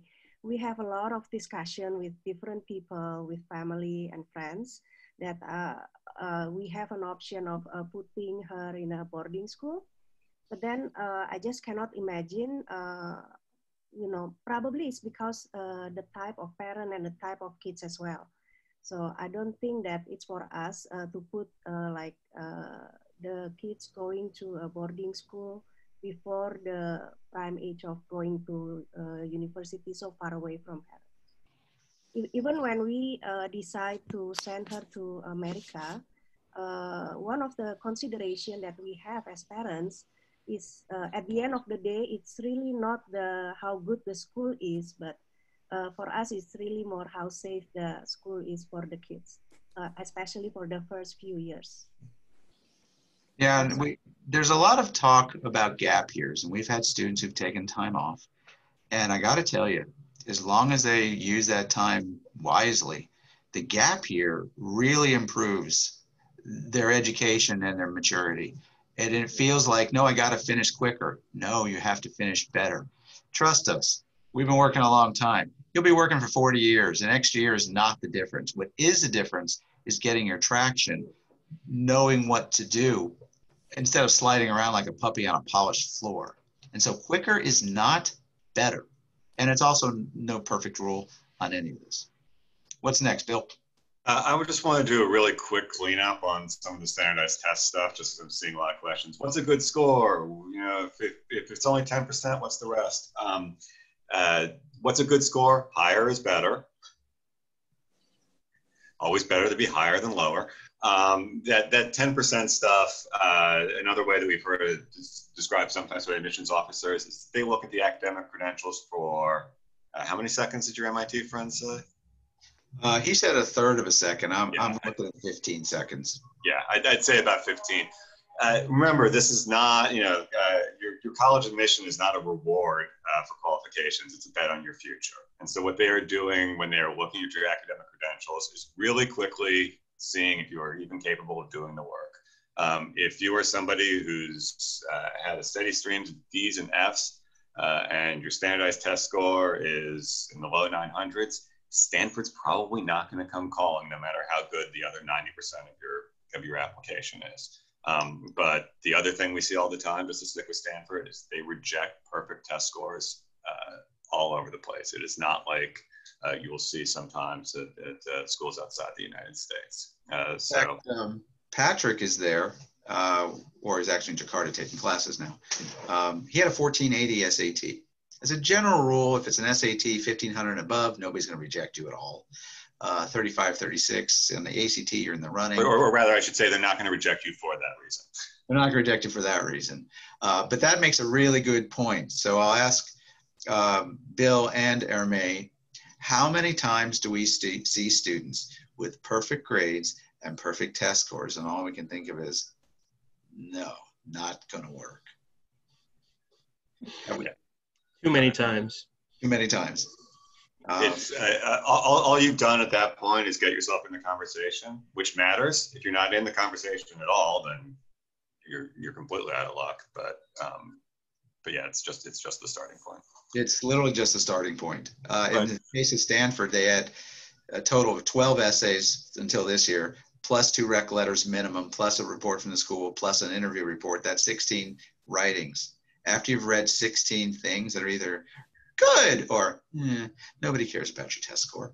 In fact, there just isn't room for all the perfect test scores. It's not how it works at our private schools, more so at the public. Uh, but we do have a bunch of questions that I'll try and sort of aggregate together uh, under the sort of umbrella of which curriculum is best to take in high school. Uh, we've got students doing IBs, wondering how those IB scores matter, A-level tests. What if I'm at a national school on a national curriculum instead? Um, so um, I, I, would, I, would say at the, the, highest level, schools understand that the parent chooses the high school more than the student. Um, but, but let's talk about uh, what matters from the high school curriculum. Yes. Look at it more from a parent perspective than from a college perspective. If you develop the best person, you're going to develop the best applicant. The US is well familiar with IB. They're very familiar with AP. A little less with the UK stuff, but we've heard of it. In fact, the admissions representatives that cover Indonesia cover Indonesia every year. They've heard about the national curriculum. They know. So they're going to look at the context of the curriculum as where the student's placed, but the performance of the student is all that matters. Um, uh, and I should also say uh, a question about homeschooled students. They've also seen homeschooled students. Uh, this is, uh, um, all right. Uh, who should I ask to write my letters of recommendation? Well, that's an easy technical question. You're generally going to need two in core classes that are relevant to your future. Um, generally, as recent as possible, grade 11 works pretty well. Um, maybe grade 10. Um, but pick the ones who know you best because the best letters are the ones that are most personal. I, we sent to, and by the way, as part of our service, if the if the schools or teachers wish, uh, we will edit teacher recommendation letters, not to change them, but to make them tighter, make them better flow. Um, in fact, I sent uh, one of our students' letters to Jonson yesterday, um, Jonson, you remember reading that rec letter that we edited and, and just how it feels in terms of whether a school might want a student? Yeah, we always tell the parents and the students, you know, the best recommendation letter is almost like the parents writing it, right? You can never, but unfortunately, you cannot have a parents writing their own kids' recommendation letters. But if you know somebody who's close enough that understand that can see the growth of the, the students, that that will be the best. Um, not really who who wrote it. Um, you can have you can have a letter from the president of the United States, but if the content is nothing, or from well, that brings up a great story. Not one of our students, but a few years ago, a student applying to Georgetown University got a recommendation letter from the president or dean or whatever they call it of Georgetown University. She didn't get in. The person who wrote it didn't know her. A friend of a friend of a friend knew here. So as a general rule, it is not about the caliber of the writer. It is about the caliber of the writing. Mm-hmm. A great letter. And in fact, we have a student this year who's getting a recommendation letter from a teacher, but it's a teacher he's never had a class with. He thought the guy was a student and just they started to become friends. And about three months later, he realized, You're a teacher? Yeah. And one of the coolest recommendation letters, I'm writing a recommendation for a student I've never had. Mm. But so much personal back and forth. So, very simply, you'll need to make them good because it's the last chapter of the book. It's the last thing they read before they make their decision. Lukewarm rec letters can be a problem. And when Brian asked me, because he didn't get everything he wanted, he showed me his recommendation letters after the process. He said, Did they hurt me? I said, No, Brian, those recommendation letters didn't hurt you. They just didn't help you. Mm-hmm. It's really competitive. Yeah, you, you've seen so many letters that is very standard. Like the student is doing well in school, very attentive, but that's it. Well, that's the rest of the students either, right? but um, a lot of recommendation letters that we've seen over the years is the one that interesting. I mean, um, that that could make a difference. Well, and, and this is why we edit because we often get uh, teachers writing letters that talk about all the extracurricular, co-curricular activities the student did that they've never seen, and that's the first thing. We're like, eh, you're not helping me much. So um, we want to help the teachers do a better job. We have things that will help the students work with the teachers, have the parents work with the teachers. We can work with the teachers, but we work with the teachers in several ways. What many don't know is that UCA provides free service to high schools. For example, we go into ACS as often as we can, and we will do it for anybody. So if you're a high school counselor out there and you want free help, whether it's a seminar to the kids or we give seminars on how to write recommendation letters. We show you and give you PowerPoint and materials and examples because that's really important. Uh, come on, a couple questions here. Uh, is a bachelor's enough? Do you need a graduate degree? And what's the difference in the application for graduate school versus undergraduate? Better to have a good GPA from a lower ranked university or a mediocre GPA from a great university? Probably best is have a great GPA from a great university. Yeah, have a great GPA from great university with a whole bunch of other stuff. And if you're at it, why don't you cure COVID? Because you're getting in everywhere. Just uh, the grad school application process. We'll bring Melvin in for this. Um, it's different because it's more directed. You're supposed to know what you're doing. In the U.S. undergrad process, they know that you're finding your way, and so they're looking kind of at a broader person as opposed to your direction. So the essays for grad school tend to be more like what undergrads are would call a Y essay transfer apps are like that. UCAS for UK is like, why do you want to go here? Which is about you, how you found your path, what you've done on your path, and why it makes sense. But Melvin, um, you applied to a bunch of schools undergrad and then you applied to a bunch of schools grad school.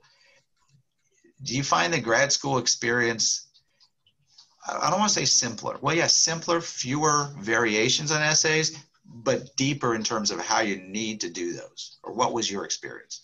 Yeah, no, exactly. Um, I think it was uh, a lot more straightforward. Um, and uh, I think in the essay itself, you, you, could clearly see a flow and, and sort of an understanding of, of what my goals are, um, both academically and professionally afterwards. Um, and I think uh, between the schools for um, when, when applying for grad school, the, the essays were were similar, um, but at the same time, like they dove deeper into each sort of curriculum and each program into, into sort of the um, the pros and cons of each. Um, and so, yeah, completely resonate with, with what you said, Bob. Yeah, you got it right. But, but, Bob, I think um, if I may share, um, I went straight for my uh, for my graduate school after finished my undergrad. Uh, in a way, sometimes I regret it because I feel like I cannot contribute that much in the school, in the class. Uh, especially when you have the open discussion class where you you share your experience i got nothing. Um, and and that's very true. That's why mba requires minimum two years experience uh, versus uh, engineering or technical degree you usually can go straight from your undergrad um, but but knowing myself if i did not go straight from my undergrad i will never go for my master's because i just don't like this i don't like school that much Um, so something to consider whether you want to work Well, first. Yeah, and to the extent that others, other countries kind of advance the process, uh, UK is, you know, four years, including the masters. You know, the question was, do you need it? Do you need to go to graduate school? Steve Jobs didn't need it. Bill mm-hmm. Gates didn't need it. Mark Zuckerberg didn't need it. It's a personal question, but I will say this. Change your mindset about what graduate school can be. People who want to understand business don't necessarily need an MBA. There are incredible variations. I remember in my interview, they asked me, Why did you look at a master's in marketing? I'm like, I don't know, because I didn't think it clearly. Melvin, however, did. You know, he finished, well, almost finished at Georgia Tech. And he said, Yeah, I'm taking mechanical engineering. I don't want to be a mechanical engineer. So we had to look at different programs, and they do vary a lot. And one of the advantages of Stanford is your opportunity to take graduate elective credits in the undergraduate experience. Um, so, Melvin, how is it different learning mechanical engineering than getting a master's of science in engineering management or whatever it's called?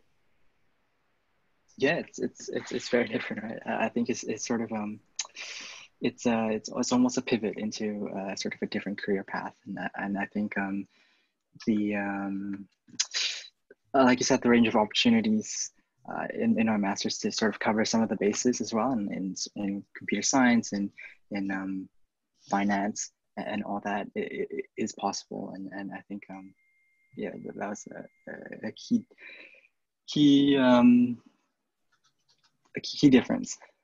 Whether um, undergrad or graduate school, our US programs are different. The way they teach at MIT is not the way they teach 20 minute walk away at Harvard. And the way they teach at one graduate school is not the same, and one program is not the same. One of the things, and I'll, I'll throw it over to Bill because he actually finished his MBA. I started and couldn't take it, I guess. Um, a lot of our fellow students who had been business majors we're looking forward to something that was in a different kind of depth and we're frustrated so I, there is repetition because the graduate schools don't assume that you everybody starts the same place what did you notice bill Uh, well, I mean, it really sort of depends on the program. Yes, Bob and I were looking executive MBA, which is a, a sort of a generalist thing. Um, yeah, I, I sort of explain it as you might be in logistics, but uh, you are supposed to at least know something about how a marketing plan works, um, which can be frustrating for students who want to go very, very deeply into how marketing plans work uh, in that sort of situation. Uh, you, you do need to sort of think carefully uh, about what uh, you know what the program is. The flip side is uh, I had an earlier career in the theater, uh, got an MFA uh, in uh, drama from UC San Diego, um, and that was a situation where all I was doing was taking playwriting courses essentially. If I'd wanted to learn about lighting design, well, no, that wasn't uh, that wasn't the purpose there. Um, so, um, uh, you know, as opposed to the sort of undergraduate thing where kind of the whole purpose is to expose yourself broadly, uh, graduate school, um, you were you're, you're, you're choosing a much more directed thing formally. Um, i'm going to throw it over to ma for a second because he went to yale got his business certificate at haas then went to harvard for grad school what was your experience in the pluses minuses pros and cons similarities and differences between undergrad and grad I mean, it was much, much more focused in, in graduate school, like Bill said. Um, well, my and there are di- different programs. Like I went to the Harvard School of Education, right? I got my educate. I got a master's degree, but it was policy and management. So all the classes that I took were about policy, politics, managing, managing people, right? But focused in government. So it was a different experience, much more focused. But I would have to say that Harvard does a good job at creating a cohort experience. So it was similar to undergrad in many ways, um, in terms of people, diversity, opportunities, clubs, activities. It was robust in that sense. Fair enough. We have about 20 minutes before we really need to sign off. Bill, what else we got? do I need a personal project to get into a top school? No. Oh, wait, did I just say that? Yeah, no. Uh, what you need when it comes to non academic things is something good. And, you know, and that's one of the things about Konner, and she's not here, so I can brag on her a little bit. Uh, Konner was a state champion swimmer. She's also a type 1 diabetic and spent a lot of time in high school going around the country explaining to younger type 1 diabetics how to live. In fact, one of her essays is about her insulin pump named Kevin. And yet she goes off to Stanford feeling like she's not all that. Uh, a personal project is very popular. So is going to a summer program. There is no one size fits all. But you do need quality performance in the classroom and outside the classroom. And this is where it gets very difficult. And where when we start with students a little younger, there's a bit of an advantage because when we start to show each student what works for each student. Um, the whole, and we see it a lot in Jakarta, the personal project. What that does is it does make you do something. And maybe it's great and maybe it's not, but it is not the box that you check that gets you into these schools. In fact, you can do a personal project, but after Stanford reads this year nine essays plus the rest of stuff, eh, they don't really care. It just, you know, if again, if you want to guarantee yourself, I don't know, be cure cancer, or if your name last name is Obama, you're kind of getting in anywhere you want. But for everybody else, there is no simple plan. Well, and it, it's it's originality that the schools are looking for, and if you do the same thing that everybody else is doing, by definition, you're not original. Yeah, it's the nose on your face. You know it's there. You don't always see it. You want to be different. You want to be picked. You want to be selected because you're unique. Then you got to be unique. The personal project can do that, but there's always the wonder when the personal projects are a bit too complex. Kind of wonder who did it. Same thing is true with an NGO or what we call here in the US a 501c3. I created a charitable organization at age 14. Did you? Or did you have some help with that? Uh, you mentioned summer programs a second ago, so let's segue over there. So I was asking about, uh, well, there's sort of a specific question about earning credits that can apply towards freshman year. I uh, don't know about that so much, but uh, also a question about whether a summer programs a good way to uh, figure out if you might fit with a certain university. Um, for the purposes of this question, let's assume that these summer programs are once again open on campus, which they were not in 2020. If you could go to Stanford for the summer or two weeks, you think that everybody there is going to get into Stanford? This is more like a summer camp than a college experience. In most programs, you're dealing with other high schoolers you're in the buildings, you see the campus, but that's not the student body and it's just a small portion. It can be very valuable or not. I think when students are younger, it's a valuable experience if they're mature enough to let them get away, get away from mom and dad, see a new environment, stretch themselves a little. I think that as they get, say, between age 10 and 11, grades 10, 11, I should say, um, if there's something you can't do at home and you want to go deep or try something new and they have it, great. But as you get to 11 to 12, it's kind of a boxed prepaid thing.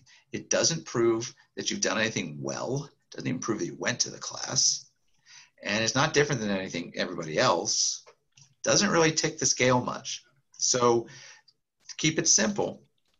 If it works for you, great.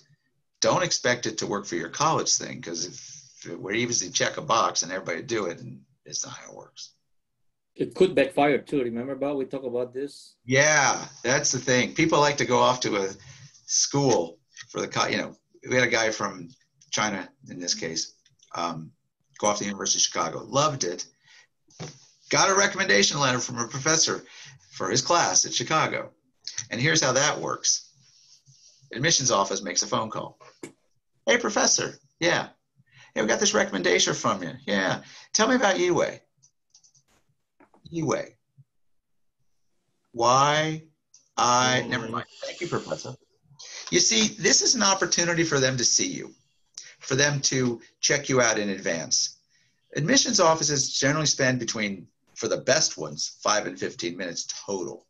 If you're on their campus for a week or two, it's an audition. They're watching you.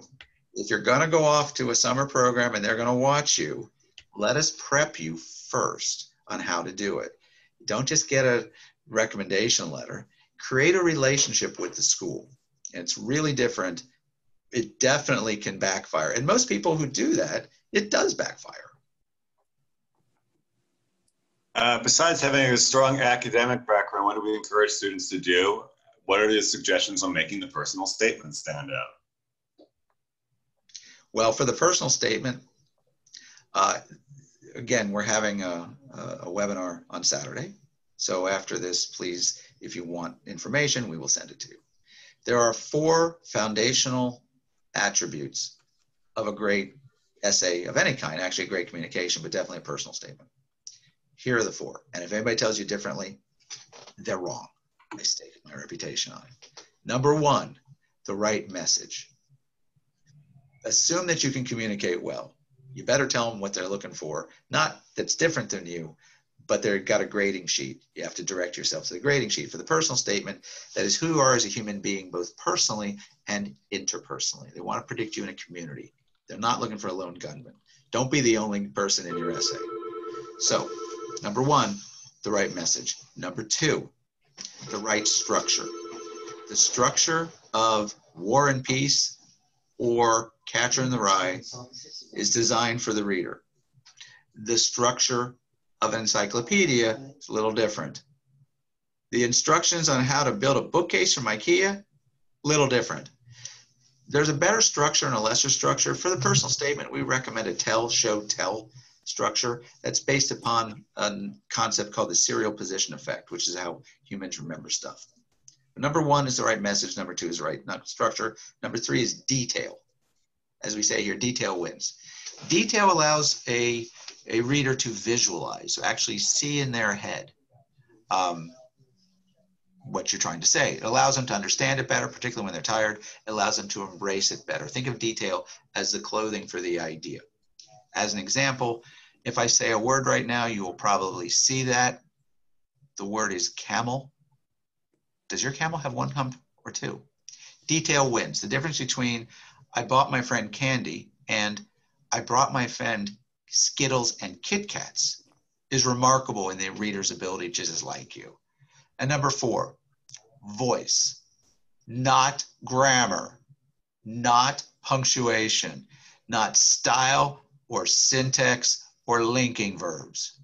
Voice, sound like you, be conversational, be real. I don't know how many times people say, well, it has to be perfect grammar. No, it doesn't. You're 17. The only class you have to take in college, usually writing. You're not supposed to be that good. And if you sound like a 59 year old person, well, it just doesn't feel right. In fact, when many U.S. universities started going away from the writing section of SAT. Bill's alma mater, Princeton, did something that was brilliant for them and maybe bad for you. Instead of taking this writing section, you had to turn in a graded paper. Well, your essays are normally really massaged, and if you have too much massage, too much polish, doesn't sound like the graded paper. So we try very, very, very, very, very hard to keep the student's voice. Do we polish it up? Yes. But sometimes the ones that are just a little bit rough, the ones that haven't been overworked, the ones that don't look like a very expensive consultant has over massaged it, well, they just sound like, hey, this is actually a student talk and I like them better. Imagine after reading, and they do, several thousand essays, you get one that just sounds like a real human being. Thank you. But those are the big tips. There are some things to avoid, but if you want to know more, we have a free webinar on that. Just the, a, a, couple of technical questions about, you know, contact information. Uh, I can give out Bob's personal phone number here, but I think instead what I'll say is that there will be a follow-up email here uh, with information about how you can sign up for a consultation with one of our client managers or if you have additional questions. Um, we will also make sure to provide information about Saturday's webinars uh, in, in that follow-up email that, like I say, goes out within 24 hours of I don't know if it's the start of the webinar or when we hit close, but you, you will certainly have that uh, in hand uh, within 24 hours. Um, looks like uh, we are coming to the end here. I can see uh, people are starting to log off, which I totally understand because it's getting towards 11 p.m. in Jakarta. Um, maybe the, the last question or uh, was one of the first ones we had. Uh, what are sort of the three most important things I should be focusing on if I want to achieve the universities I want. Let's take it from two points of view. Let's start with the parents, and then we'll talk about from the student perspective. So, Marisa, what, what would you say from a parent perspective is most important for a student, at least during the admissions process?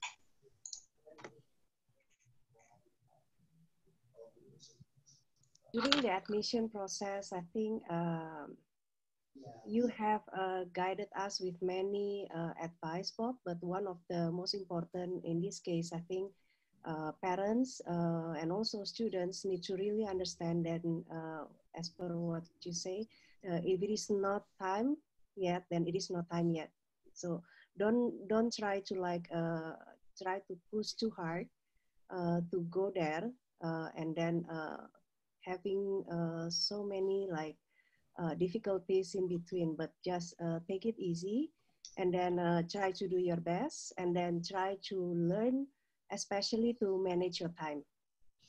I think uh, that's probably the most important thing uh, that uh, students and parents can focus in the next several months. I know they are going to get very busy after this. I'm guessing Richard would would also say time management, but I won't speak for you, sir. What do you think? Yeah, yeah, time management definitely is one of them. Um, but also, I think um, the most important uh, thing for, for, for us, at least for at least for me, is uh, when I look back, is how, uh, as a parent, we should work, I guess, collaboratively with our child or children. Um, you know, how to uh, you know, how to help him and support him uh, to turn out the, the best work he can. Because um, sometimes maybe because of the parent's personality, you know, or maybe they want to just to push uh, the child to do more. Uh, you know, sometimes there might be an adversarial kind of relationship. So I think the most important thing is how to understand uh, from their point of view, understand what they're going through, and how you as a parent can support them and together with, uh, uh with uh, UCA's help, how to uh, best, um, you know, go through this process as painlessly as possible. I guess collaboration, honest collaboration is most important. Yeah, and one thing that we know doesn't work, Tiger Mom, helicopter parent you can't force them to do anything. In fact, it's counterintuitive because the people get the best schools and people naturally do things on their own. What some people expect a consultancy to do is to handhold a child through a process. We don't do that. We don't handhold. Uh, we will support, we will direct, we will follow up, but we want the students to take ownership of the process, which is why one of the awards we give out is called the Stalker Award for the people who bother us the most. Is it annoying? Yeah, for about 10 seconds. What's most annoying are the ones we have to chase. Um, Jonson, what have you seen with so many students about what works and doesn't work in the process, whether it's the admissions process or the parenting process? Um, I think back to what Richard said is um, it's it's all about collaboration among the parents, students, teacher, consultants. I mean, it's, it's a one team, one mission, right? Um, get the best fit school, not the best branding school. Because if, if the parents keep asking like, hey, what is, what's a good project for my, for my son or for my daughters? Well, basically the parent doesn't know the child very well. Um, if the parents know the child very well, then he, they should know that if whether the son is is self motivated and can move on by himself. It doesn't have to be forced. Like um, it, it's, it's very frustrating, especially. I, I mean, I'm in the same boat sometimes. You know, like watching my son playing games. You know, all summer. You know, even this COVID era era, he's still playing games um, but that's what he enjoys you know that's what and then and many times that he will feel guilty you know like hey you know um, did i play too much? Yeah you play too much right? But um, if i try to become a helicopter dad and then and this is the best reply from him why don't you trust me? You know like when he said that word you know I, I have to step back and say you know what? I guess i have to trust you. I have to learn how to trust you Um, but at, at the end of the day, if you screw up, then it's on you, not on me. So again, we, it's we have a we have a client um, whose son is at a boarding school elsewhere, and he told me a story about how his son had made a mistake. And I talked to the guy, the kid, and he's like, "Yeah, that was on me. The school computer crashed. I couldn't get an assignment in, but if I'd done it earlier, I probably should do better on that." And I asked the dad, "What what'd you tell him?" He says, "I got mad at him." I'm like, okay, what do you want from him? I want him to get into a good school and get good. No, wait, I just want him to be happy. I want him just to. I said, okay. If you treat your child like a child, they will act like one. If you treat them like an adult, they will be forced to become one. It's not about the verbal all the time, it's about the role model. That's what they see in parents. Um, but I want to give a, a, shout out now to both Melvin and Matthew. Um, you got a chance to give one piece of advice to uh, to our audience who are not just in Indonesia but actually from all parts of the world because we had some requests for that. So let's start with Matthew. Um, one piece of advice for the crowd. Give us your wisdom. Go. Uh, my advice is to do your research. That's that's it. Um, um, you, I know that most people look at the rankings and all that school things, but then uh, what I learned from Bob was actually that uh, not everything comes from the rankings, and it's very important to actually look in depth to these uh, schools because these schools are uh, you're gonna spend your time like four years in these schools, and it's very important to have the right environment for it. That's yeah, you're looking for an education, not a line item on a resume. Melvin, what do you think? You got one chance to make these people just do better in life.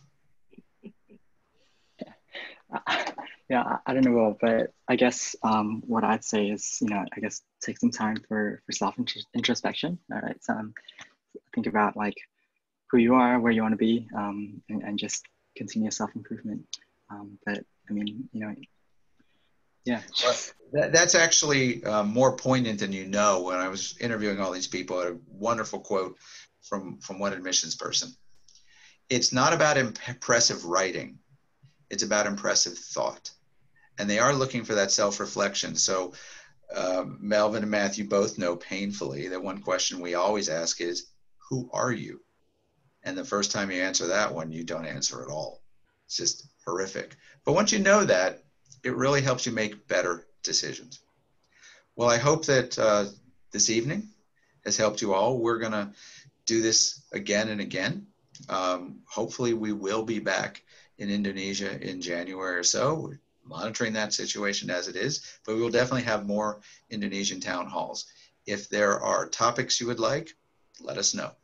If you would like us to give webinars in your school or to a group, let us know. These are not there's no charge for this. We believe that a rising tide lifts all boats. And we came to Indonesia because Mr. Jonson Li said, This is my homeland, and I think this could help.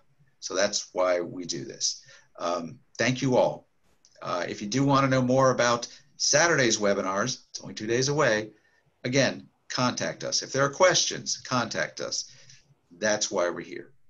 Thank you to everybody, particularly to our parents, to our students, and to all those of you who have been so patient and, and uh, interactive with your questions. It means a lot.